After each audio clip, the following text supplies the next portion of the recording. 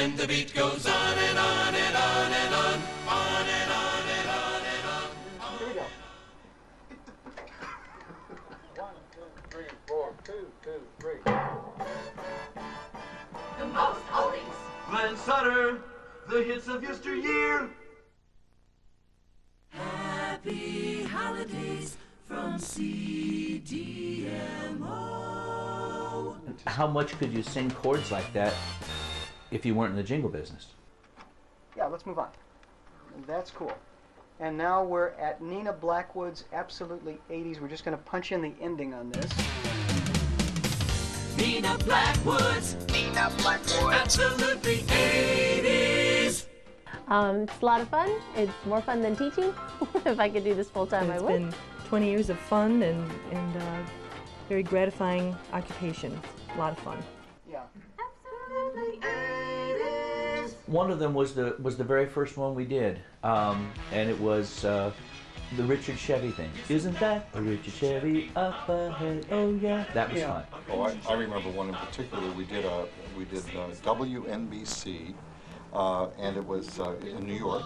And I went to visit my son just a week later.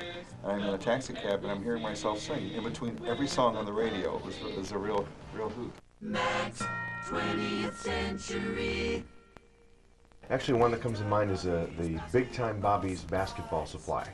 It had the basketball, actual basketball being dribbled throughout the whole thing in tempo. Better man than I that could do that. And I come here amongst friends and professionals, and uh, I get to improve my sight reading and sing a lot of different styles. And I just feel like I'm a way better musician because of the time I spent here. I remember definitely hearing this once in Florida when we were there. Just had the TV on, you know, and as I was getting ready in the hotel room, and uh, it's like, hey, that was me.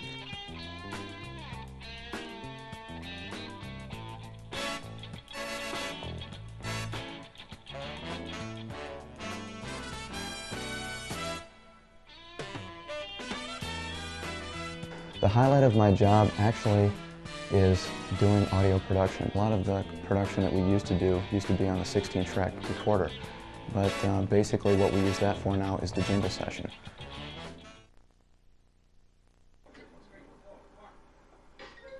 Cool summer sounds. Cool.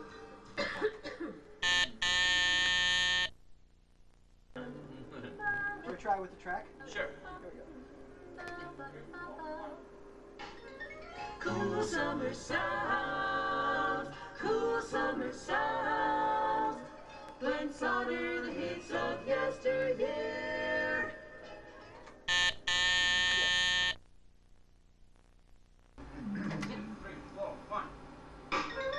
Cool summer sounds. Cool summer sounds.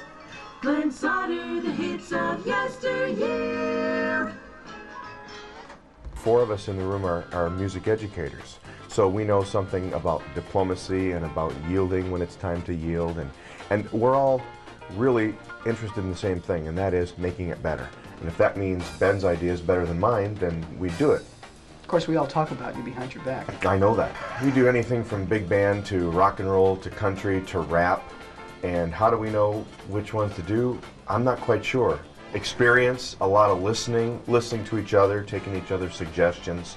Listening is the big thing for me. I listen to so many different styles of music that when one comes up, it just sort of clicks uh, what we're supposed to do. And, and if we get it wrong, one of us gets it wrong, someone else in the group is sure to say, no, it should probably be this way. The most amusing time is probably at Christmas when we listen to those amusing Ah, yes, uh, the tapes Christmas that Ken CD. puts together.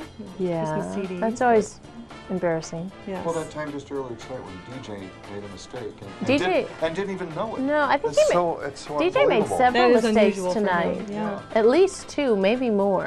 Where is he? I don't think I made any. Did you make any? Not that I recall. No, Lisa, don't you didn't I make any. I did no, I don't no. think so. I think it was just DJ.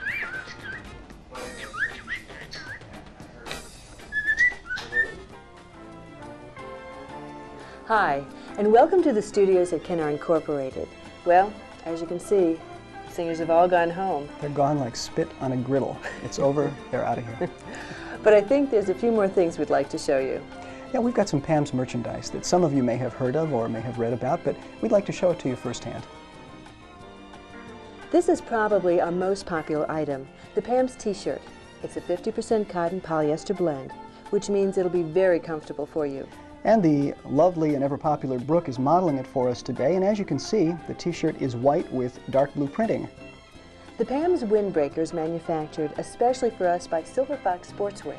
And they're probably in Tijuana or some other sweatshop someplace like that. Um, again, you can see the official PAMS colors, blue and white, are used, and you get maximum comfort and functional easy care. At least that's what it says on the little tag. I don't know what that means, but that's what it says. Next is the PAMS designer sweatshirt. I love this thing, and I know that we all wear them here around the office. I do. It's 80% cotton, 20% polyester, completely machine washable, and made right here in the USA. The PAMS logo is in blue on gray with three buttons at the top. Uh, moving on here, a couple of very popular items are the PAMS travel mug on the left and the PAMS coffee mug on the right. This travel mug is huge. It's about 7 inches high with a securely fitting top made of high impact plastic. It's blue on white, the official PAMS colors, and you can take this baby with you while you listen to jingles on CD or cassette in your car. Is this a great country or what? Yeah, or what? Yeah. The coffee mug has the Ken-R logo on one side and the classic PAMS insignia on the other. And it's a good size mug with an easy to grip handle. And finally, we come to our real premium item, the PAMS clock. Oh, now that's really handsome. Now, this little item has real brass with the PAMS logo in blue on plexiglass.